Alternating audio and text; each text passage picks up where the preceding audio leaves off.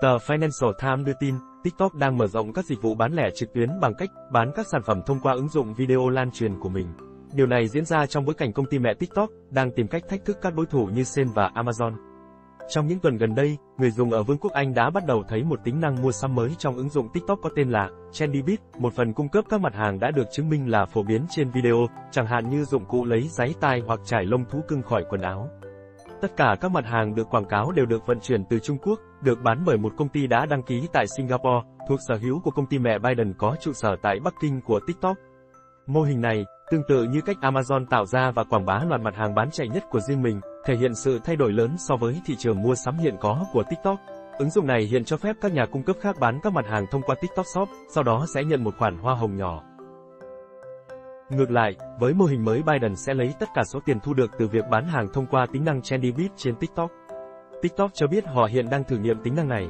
Công ty cho biết, chúng tôi luôn khám phá những cách mới để nâng cao trải nghiệm của cộng đồng và chúng tôi đang ở giai đoạn đầu thử nghiệm các tính năng mua sắm mới. Biden đang tìm kiếm nguồn doanh thu mới, có thể chứng minh mức định giá 300 tỷ đô la Mỹ của mình là đúng điều khiến họ trở thành công ty khởi nghiệp tư nhân được định giá cao nhất thế giới, trước đợt IPO dự kiến diễn ra trong 2 năm tới. Theo 6 người quen thuộc với các cuộc thảo luận nội bộ, nỗ lực bắt đầu bán các sản phẩm của chính mình của TikTok được gọi là Project F.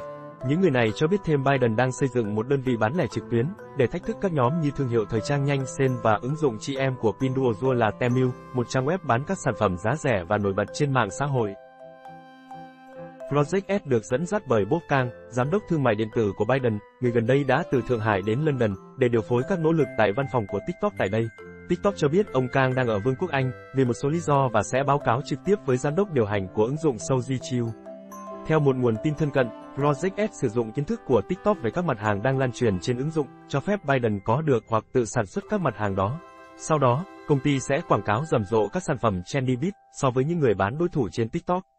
TikTok cho biết thương hiệu đã sử dụng một mạng lưới các nhà cung cấp để sản xuất các mặt hàng cho sản phẩm Trendybit của mình. Hai nhân viên cho biết để thúc đẩy hoạt động kinh doanh thương mại điện tử, Biden thậm chí đã câu rất nhiều nhân viên tử sen. Bob Kang bị ám ảnh bởi Temu và cách họ tái tạo thành công, và anh ấy nghĩ rằng TikTok cũng có thể làm được điều này, bằng cách tham gia vào quá trình cung ứng và bán hàng, một người khác quen thuộc với chiến lược ở thị trường Anh cho biết. Trên thực tế, Biden đã và đang thúc đẩy mở rộng các dịch vụ thương mại điện tử của TikTok để tái tạo thành công với Douyin, ứng dụng chị em ở Trung Quốc, đã đạt doanh số hơn 10 tỷ sản phẩm hàng năm.